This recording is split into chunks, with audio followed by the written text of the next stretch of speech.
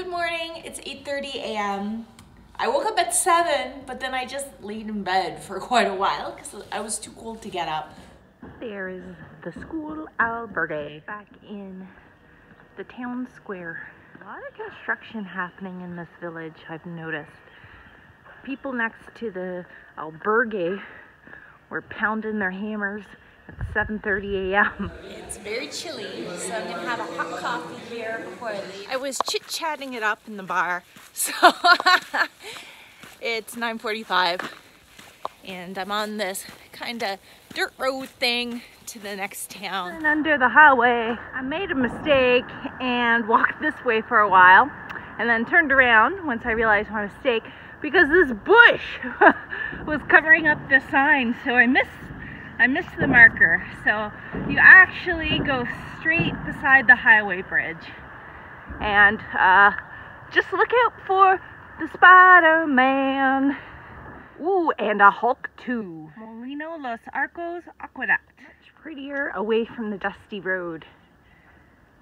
This rocky outcrop has Abla arranged in, looks like big white stones. I am under the bridge and very confused. Um, there's path there. That has an X, but I don't know. I see something yellow up there. I guessed right. I am on track. I stopped to chat with a older gentleman back there. Uh, I guess his farm's just over here and he's working. And he was very concerned. He thought this this path here was dangerous.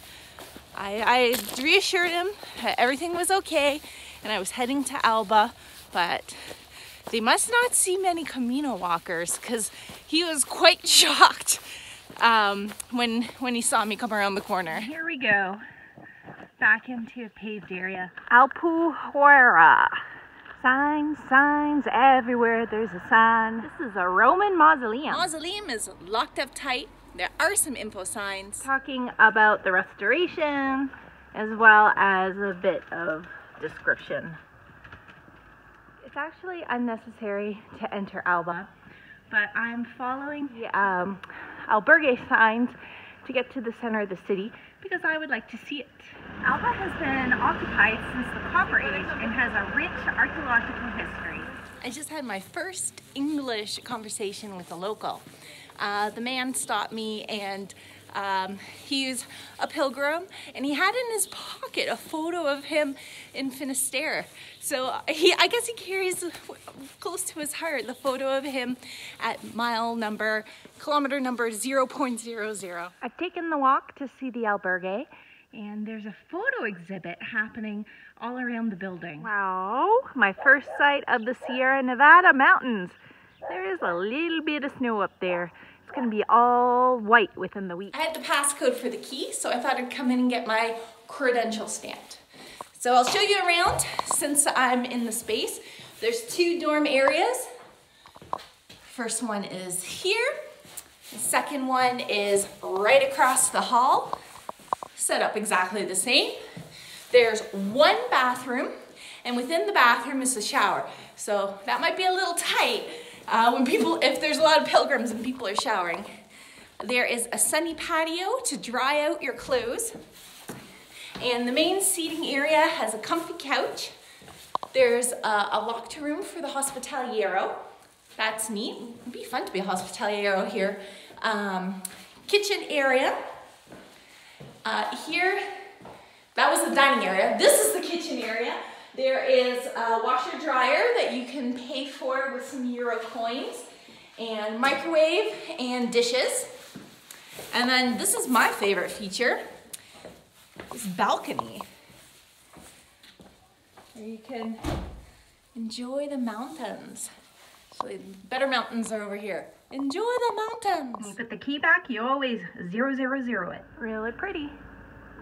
Hopped into Cafe Bar La Plaza for a quick cafe con leche. Grocery shopping inside a little grocery store.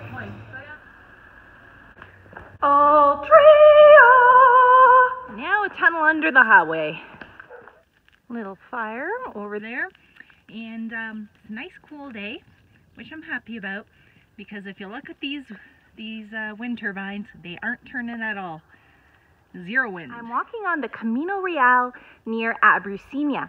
So this road was the main uh, transportation route linking Almeria and Granada. On this road, there's all sorts of people traveling, like merchants and soldiers, and so a number of um, single road hamlets popped up uh, along its course to offer services like food and lodging. Since the main highway was built, uh, there's not a lot of traffic. Just some locals. We have a big mountain view. What's this place? It looks like a old church. Let's have a little explore. This is definitely a chapel. I'm getting a lot of really creepy vibes. Super creepy vibes. Interested in filming a horror movie? Well, this is a set location for ya. Take a peek in the window. This place is huge.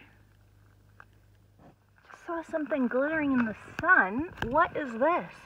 Oh, it's a watch. Oops. Okay. All right, guys. Once again, I've seen enough horror movies to know that you should not take objects like these with you. I'm going to put it back exactly where I found it. Because I don't need any ghosts coming after me. okay, ghost, I'm putting your watch back. There's so many rooms here. Maybe this was um, a hotel or a hospital or because um, there's a chapel, some kind of religious housing. I don't know. I don't. I don't want to go back there. I'm. I'm a little bit freaked out. Little bit freaky here. It was really cool though to just see the front part um, and look inside the windows. I did not enter the structure because looks like it's going to collapse at any second. Saw the sign over here, but there's no Camino marker. And I checked my GPS, still continuing straight.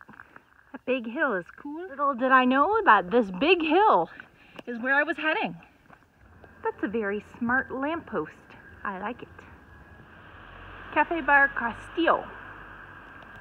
Castle? I'm guessing is the hall in the main square. And the church, celebrating 500 years The church is open. How wonderful. An altar.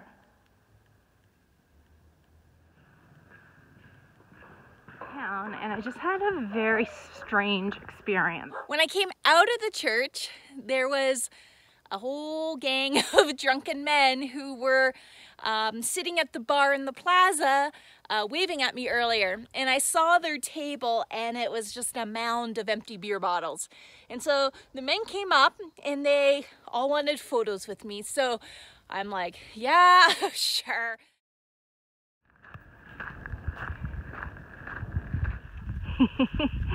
Hi, hola. It's another hour or so to the next town. Just popped up here to check out these cool rocks and uh, yes, it's uh, flat and easy walking. I've been carrying this road orange for a few days. I'm gonna break it out. Now the wind is starting to pick up, which is fine because it's kind of hot. Yowza! No one's living here. House aqueduct style system. This is Ventus Radinera, and this chapel is interesting because it was um, built by a mousetrap maker who discovered a silver mine and became rich in 1860. And he's buried inside. Look at this stone marker. I've crossed out of Almeria province and into Granada province. Yay! to celebrate, I'm going to have my beer that I bought. Ah! It's kind of explodey. I'm gonna have this beer that I bought earlier today. And um, I'm gonna give a shout out to my mom, my mom Louise. Thanks for the beer, mom. I gotta eat fast because the wind is picking up. Peanuts. get your peanuts. Today is long flat walking, which really is like a, the mental game because my feet are tired from the flat surfaces. Just keep swimming, just keep swimming. I'm really happy to be on trail at the end of the day. Oh geez, look at all that white stuff on the mountain. Entering through a gate. One pot. More trail. More trail and 15 minutes or so until I reach the city. The Olivinas. Ol, ol, Olivia. Oliva, Oliva. Olivas, Olivas. Ah. Crossing over the big highway on a bridge. Yes, this is my first bridge. No, I don't count it. That's cute, a little monster. And I'm in the town. Made it before dark. Woo woo. Big church and Dry River. Welcome to the albergue that I'm staying at tonight. This is like an apartment. Uh, we have a couch, sitting area, kitchen with a hot plate, toaster, microwave, and fridge. There is one bathroom with one shower, two bedrooms. First room has four beds. It's a big space and I'm gonna be staying in the smaller bedroom that has three beds because there are some space heaters here. So I'm gonna, it makes more sense to be in a smaller room to warm it up. And whoever was here last, they left the windows open and it is freezing. I don't wanna go in search of an open bar. I'll just buy some food at the grocery store. This town does not have a place to eat. So I got a whole bunch of stuff from the grocery store and I am in no mood to cook, so it's gonna be sandwiches. The spread was 10 euros. And because I saw that pink elephant earlier, I had to get some of these nuts, local nuts. This is my big sandwich with lots of things and melted cheese. I finished my dinner and I'm gonna have a beer before bed. This is a shout out to Dan. Dan, thanks for the beer.